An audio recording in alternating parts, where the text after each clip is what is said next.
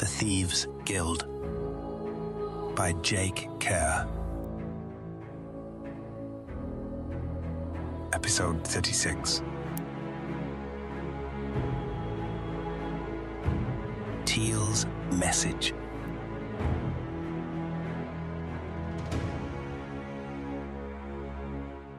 Things went perfectly, and after an hour, Mela found herself guarding the entrance to Harvest House. The moment the other guard passed around the corner and out of sight as he headed for the rear of the building, Mela walked up to the entrance and entered the courtyard. There was a single guard in the courtyard, and Mela noticed several guards on the wall. They were obviously familiar with Teal, however, and they didn't give Mela a second glance as she walked up to the main doors. She had a moment of panic, thinking that they may have been locked, but they weren't, and Mela entered without issue. As soon as she entered, Mela quickly scanned the entryway. There were two guards at the base of the staircase, and two more standing guard over the entrance, one of whom was marching toward her. What are you doing? Why aren't you at your post? The guard was in full armor, and Mela couldn't see his face. I have an important message for the Guildmaster. Tim sent me.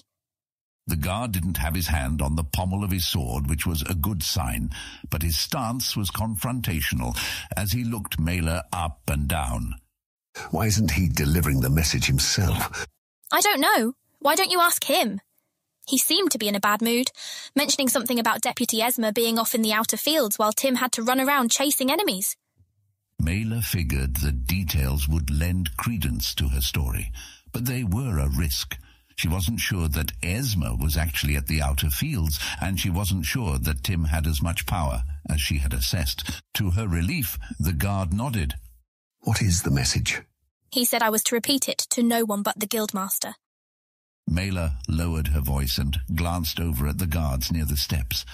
The word spy was used. The guards stared at Mela for an uncomfortably long time, but then yelled out to the guards at the steps, Let her through. She has a message for the Guildmaster. Mela bowed her head to the guard, turned and walked briskly up the steps to the second floor. She had passed the first two obstacles, getting into Harvest House at night and getting past the first floor guards. There were another four guards on the landing of the second floor. Despite the chaotic nature of the Harvest Guild guards' living arrangements, Mela had to admit that the guild defenses were rather strong and the guards disciplined. Of course, it helped that Harvest House appeared to have only a single point of entry, making limited defenses all that was required.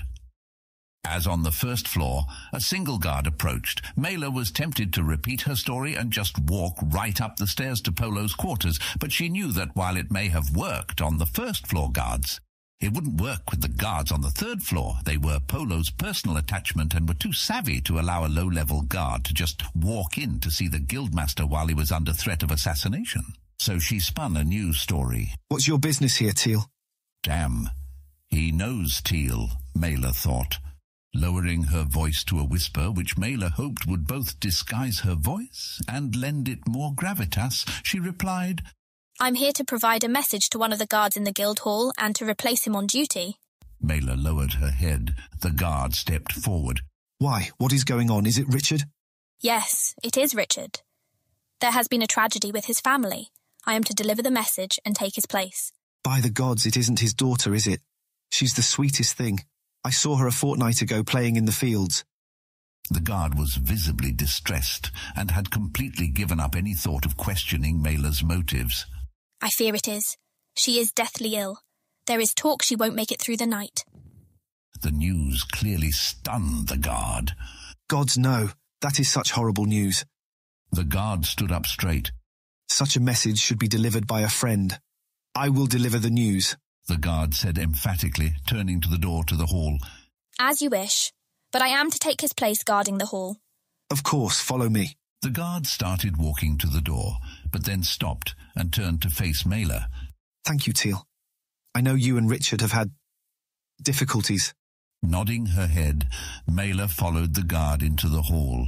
She watched at a distance as the guard went up to Richard and quietly spoke to him. Richard's whole body appeared to just slump as his guard friend put his hand on Richard's shoulder. Richard nodded as the guard said something, and the two of them hurried down the aisle and out of the hall. They didn't look twice at Mela as they passed. Thankfully, there was only one other guard in the room. He was guarding the dais to the left of the throne. Mela walked over to him.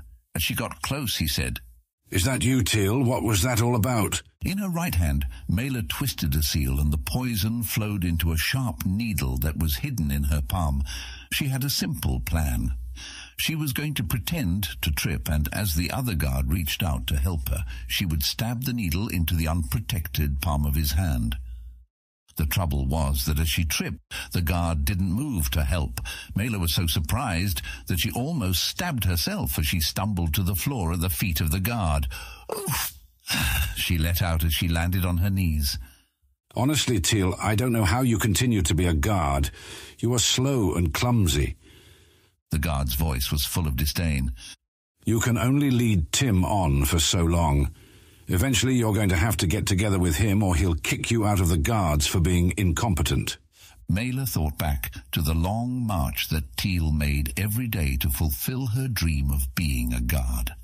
Mela was certain the dedication, the fortitude, and the honor in Teal's small frame was greater than anything this guard could dream of achieving. Reaching up, Mela grabbed the guard's leg, sliding the needle through the soft leather behind his knee and into his skin. Ow! The guard replied, as Mela used his leg to help her get her balance and stand. Sorry. Mela held up her armored hand. Must be a sharp metal edge on these gauntlets. I swear I will personally have Tim remove you from duty, Teal. The guard growled as he rubbed his leg. The poison took as much as two minutes to work, so she turned and walked over to the other side of the dais to guard. Hey, I asked what happened with Richard. Mela didn't reply.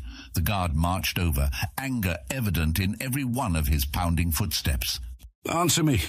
Whispering again, Mela replied, It is none of your business. None of my business. The guard held up his gauntleted hand as if to strike Mela and added, How about I make it my business?